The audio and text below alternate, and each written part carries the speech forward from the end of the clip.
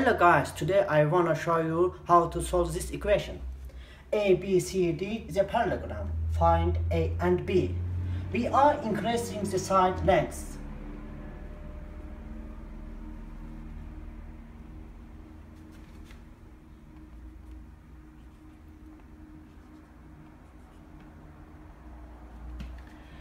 Look at the picture. AD and BC is a parallel. AB is transversals. Then angle A and then angle B are interior angles. Measure angle A plus measure angle B equal 180 because angle A and angle B are supplementary. 5, 6 plus 3B equal 180.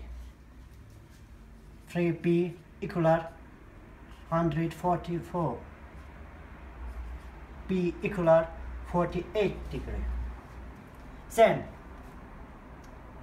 DC parallel AB and AD is transversal. Angle A and angle D are interior angles. Then measure angle A plus measure angle D equal 180. 3, 6 plus A minus B equal 180.